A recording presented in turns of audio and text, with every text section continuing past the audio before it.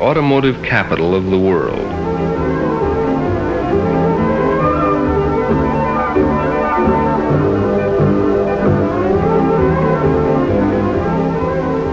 Half a mile of asphalt, a quarter mile to race on, and a quarter mile to slow down in.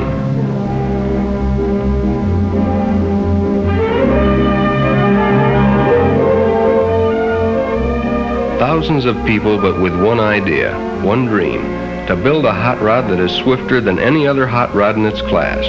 The test of one car against another to determine the lowest elapsed time.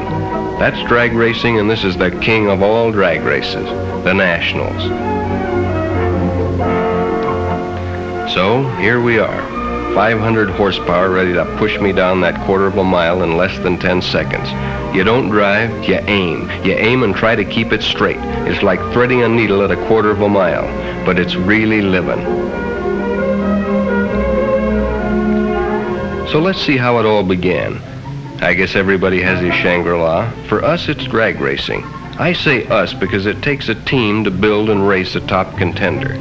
The happy hours of a man's life are spent creating something. Some people paint, others write. Some design a rocket to the moon. But for us, it's trying to build a machine that'll cover a quarter of a mile quicker than anything else on four wheels.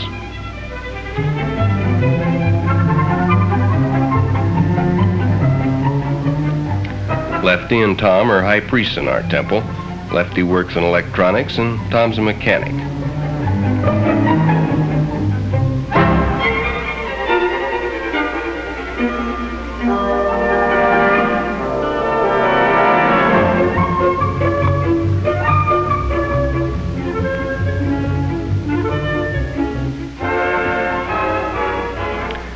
There's the High Lama, Jim Nelson. He's the engineer. In real life, he's manager of a speed shop in Oceanside. Tom and Jim are brothers.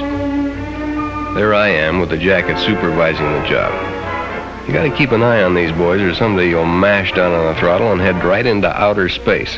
Takes a lot of doing to make a record run. These cars are more highly bred than a racehorse. In fact, this is probably the most specialized type of machinery in the automotive world.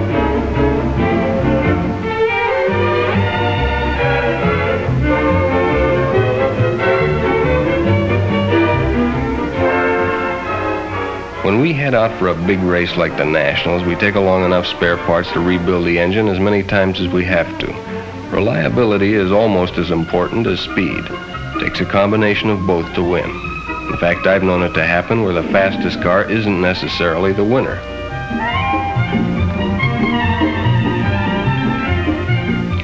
There's at least one chowhound in every group. Nick was ours.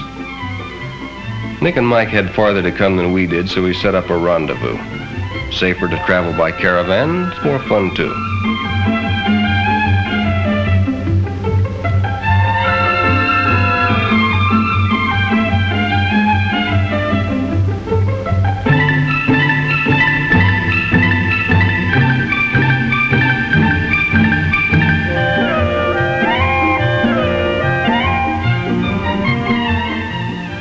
Been able to get together because of the hectic weeks of work that always precede a big meet.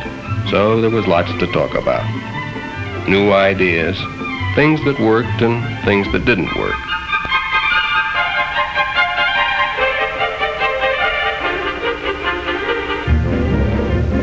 The Dragliner was our last year's winner. Nick purchased it when we built the Dragmaster. Mike and Nick were running it this year. It's a long haul from California to Detroit, so Lefty broke up the powwow and we got underway.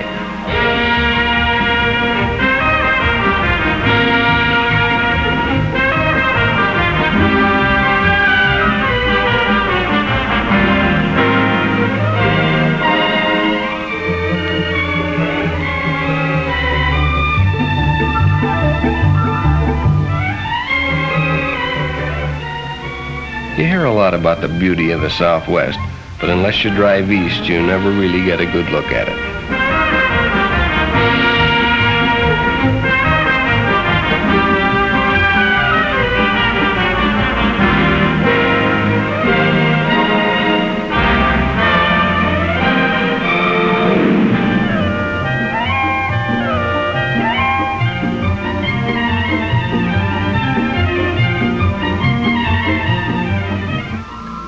Found a great barbecue place in Amarillo, and of course Nick was the first one in and the last one out.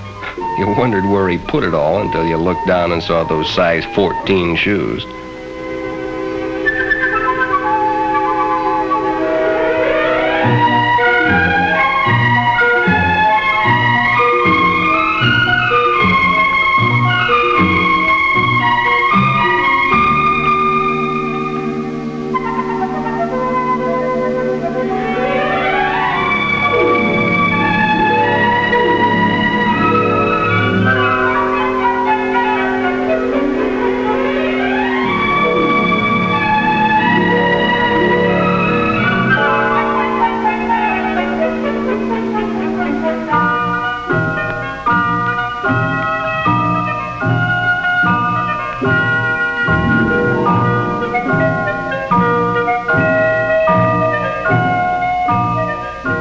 Always good to see old friends again. We joined the Parkers in Oklahoma to catch a meet before pushing on. Give us a chance to work out the bugs and get the cars in top tune before arriving at the Nationals.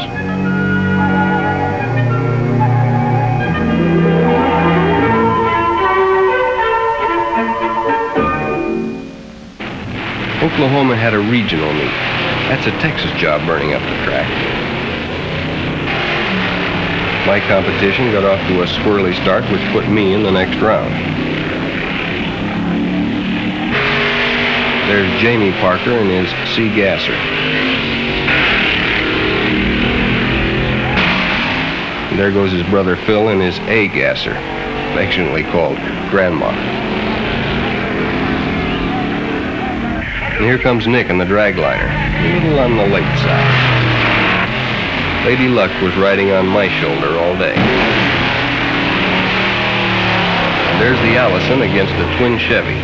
You can't see it for the smoke, but the Chevy won. And so did we. Jamie got first in his class, and we won a savings bond for top elimination. And could we use it?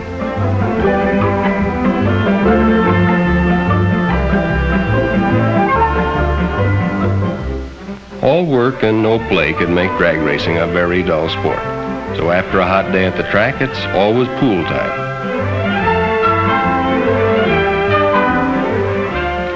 By the time we left Oklahoma, we had quite a caravan. Two cars, a pickup, a rig, and five hot rods.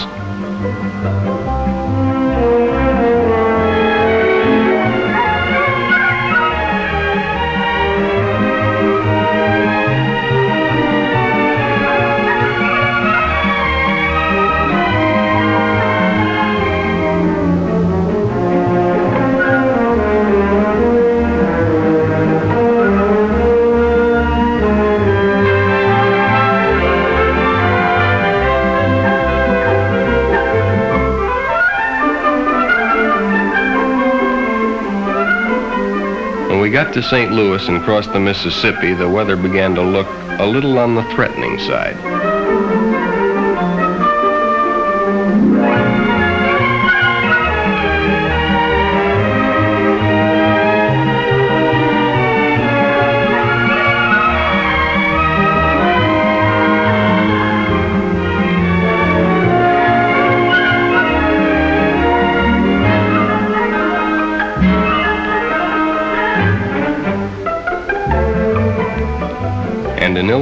Storm broke. From there to Detroit, it was solid.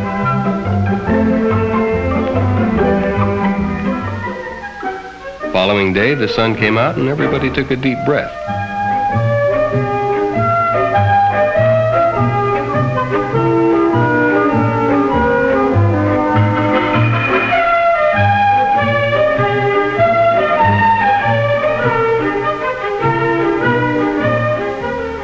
Even so, we almost lost the whole day unpacking everything and getting it dried out.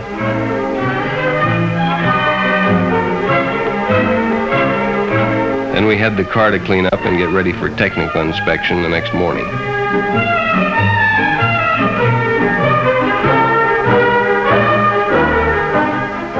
All cars must pass a thorough technical inspection by representatives of the National Hot Rod Association. The association's rules have been responsible for setting and keeping the high standards of safety so typical of modern hot rodding. Classes are divided according to body types, engine size, and weight of car. This affords a wide variety of creations for hot rod enthusiasts to develop.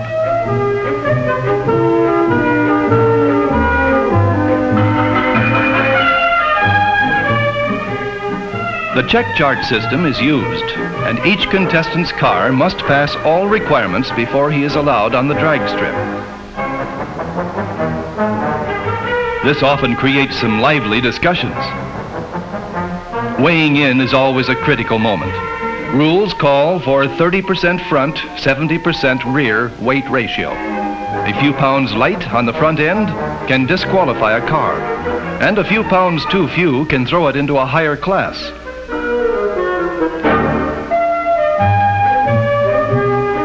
After technical inspection, the crew transports the car to the pit area, where a thorough tune-up is done before their first run.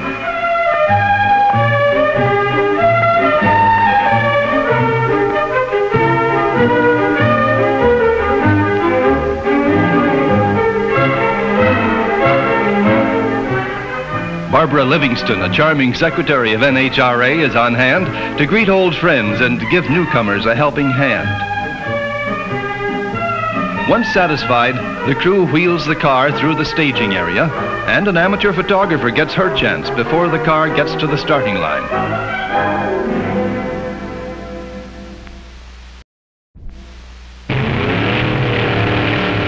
Now it's time for the crew and the driver to test the car and the...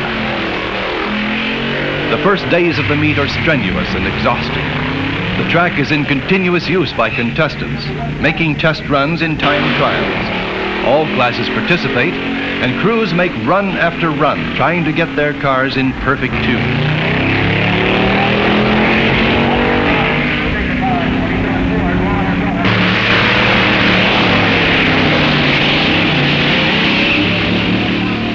For the spectator, it's an exciting time too, because they have the opportunity to observe the many different classes in action and compare their elapsed times. It is not at all unusual for the meet's best elapsed time to be set during the time trials.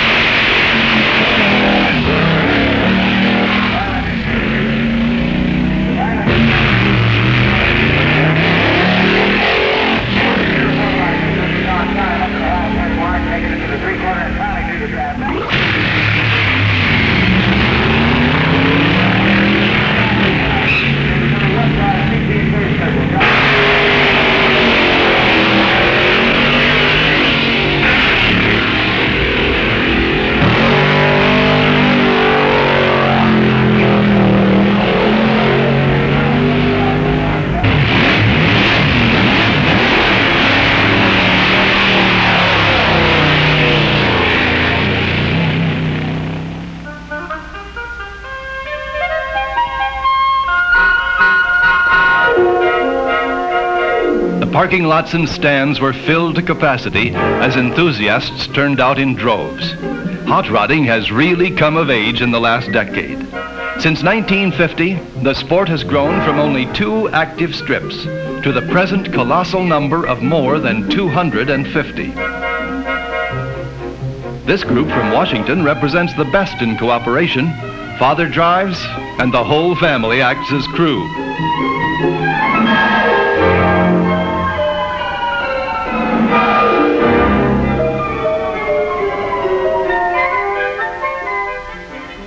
Whether it's an airplane engine or a V8, there's always work to be done. And a cool drink hits the spot on a hot day.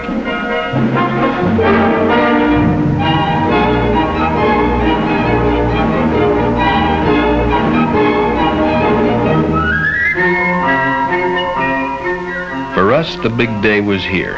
We were ready for the flat-out run to see if we really had it or not.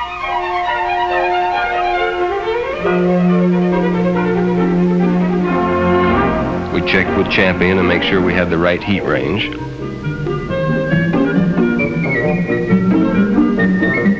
The Parkers were all at it too, making their last minute adjustments.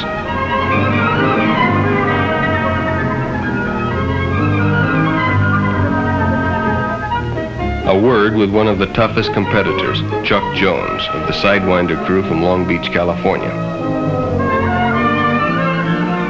And then we were ready to take her down to the line.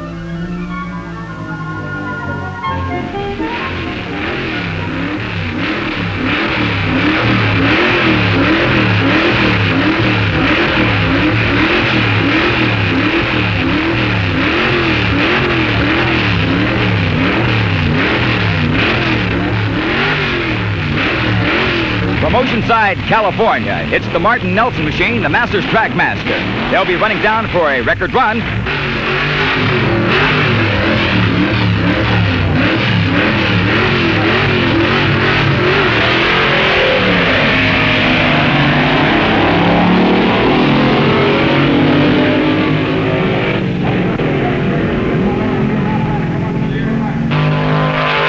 Down the with top elapsed time on our Chrondek clocks, a 9.12.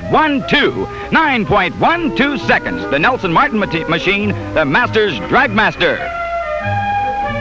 With the lowest ET of the meet so far and a possible record, they had to check the gas to make sure we weren't on rocket fuel.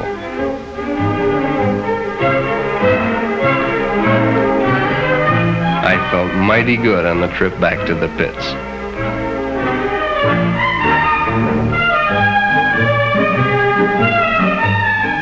You never want to count your chickens, or however the saying goes, because the day of eliminations we heard those expensive noises when we fired her up.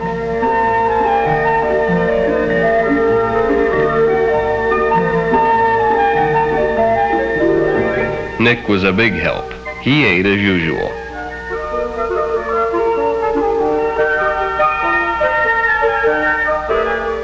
There was nothing to do but tear her all down and see what the trouble was.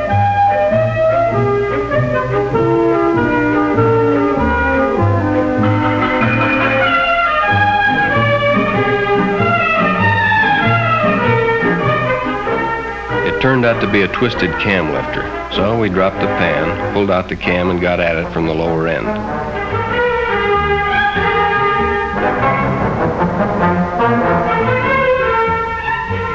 Fortunately, the cam was okay. The eliminations were starting and time was working against us.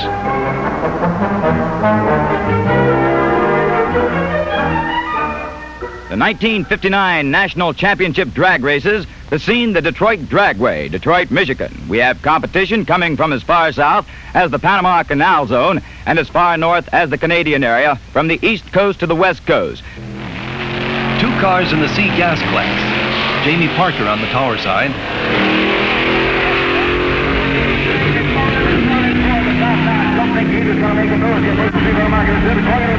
It looked like everybody in Detroit was in the stands.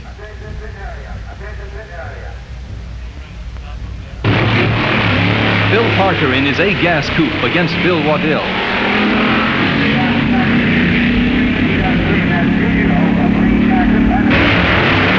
Two four-bangers with Ray Huckabee of Houston, Texas on the spectator side taking an early lead.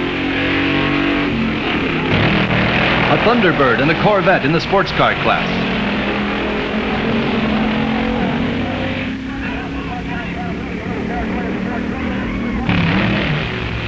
Two Chevy sedans vying for class honors.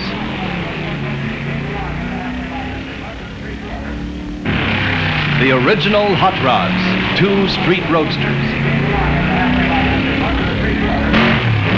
An Austin against a Fiat in the altered coupe class. The Cotton Pickens Special from Arizona taking the lead in the modified roadster class. In the competition coupe class, Naki and Veselka's last year's class winner blows up and loses to Robert Andrews of Ohio. Bernie Partridge in Misfortune from California gets a good start in the modified roadster class. With only minutes left, we got her buttoned up and down to the staging area.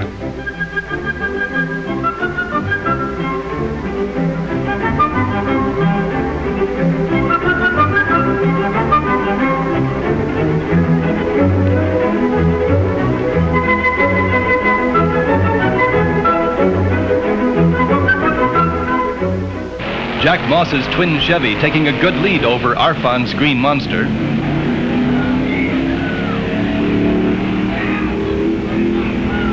Tets Ishimaru taking an early lead in his A dragster. And the very beautiful Misfire the Third, a blown Chrysler dragster from California on the spectator side. Two blown A dragsters getting off to a good start.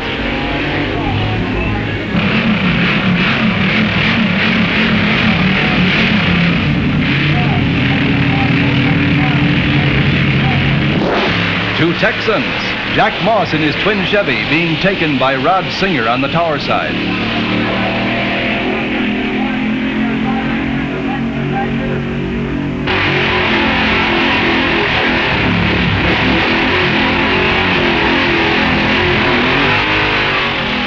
Dode Martin in the Dragmaster, losing to Tets Ishimaru.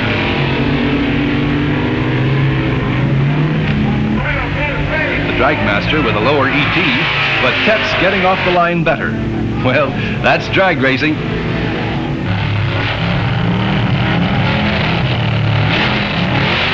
Herman Moser in his Ramrod getting off to a slow start. Two beautiful alters. The red coupe from Texas dusting off the bronze entry from Ohio.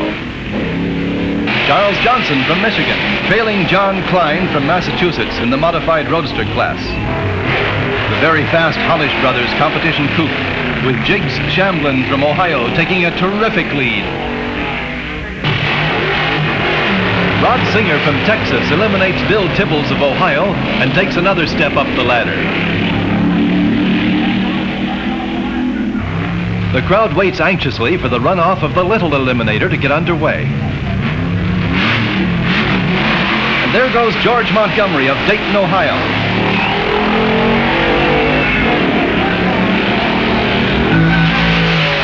The winner with hood flying. Otis Smith of Ohio, a roadster class winner, takes on Gabby Bleeker of Illinois, a altered winner, to win middle eliminator. Wally Parks, president of NHRA, talking to Mr. Ed Cole, general manager of Chevrolet, and Robert Petersen, publisher of Hot Rod magazine, with Mr. Tex Colbert, president of Chrysler Corporation. The grand prize, the DA Lubricants Chevrolet El Camino. Rod Singer on the way up to the line to run against Jig Shamblin for Mr. Top Eliminator. Rick gets a shot for Hot Rod as the crowd watches. And they're off. Up to the halfway mark, they're neck and neck.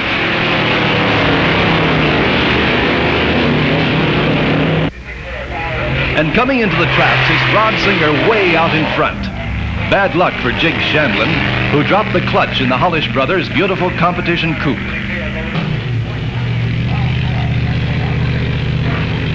On the starting line, the Green Monster, 1945 Allison-powered dragster with much, much go. And there's the flag. It's Bill Smith getting on the big green sign. He approaches the quarter mark of the strip, going wild up to halfway. He's on it and into the three-quarter. He's really coming on and into the traps with a top time, a top conduct time of 170.45 miles per hour. 170.45 miles per hour with the top time of the meet. And then the awards. The trophy for traveling the greatest distance to the Nationals, accepted by Mike Bamber. The award for the best appearing car and crew goes to Daryl Zimmerman of Colorado.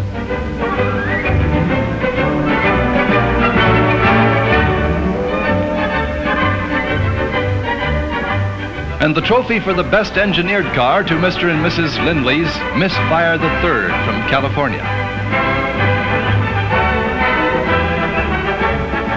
Wally Parks presents the Eliminators Trophy in the sports car class to Jack Horsley Jr. of Miami, Florida, who won in his Lincoln-powered Devin. George Montgomery of Dayton, Ohio, receiving his trophy for winning as the Little Eliminator.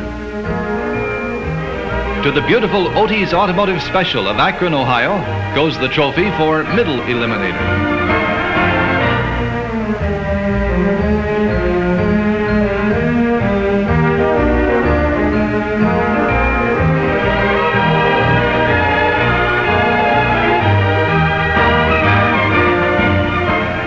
Martin Nelson Dragmaster was considered, in the judge's opinion, the safest constructed car of the meet. They also won the trophy for the lowest ET. Wally Parks beckons to the crew of the Green Monster to share honors with Art Arfons for establishing a new top speed record on gas of 170.45 miles per hour. And here comes the Singer Miller car being pushed back to the winner's circle. The car that won the meet.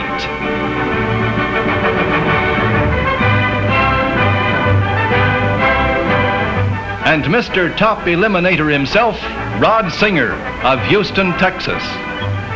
And to the winner, the beautiful champion spark plug trophy, the DA lubricant El Camino, and the kiss.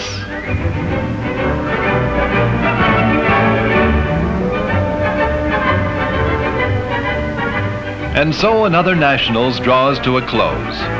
Records have been set and broken, ideas have been exchanged. Enthusiasts will return to garages and workshops to create new machines that will go a little faster and get from here to there in a little less time. For this is the story of ingenuity in action.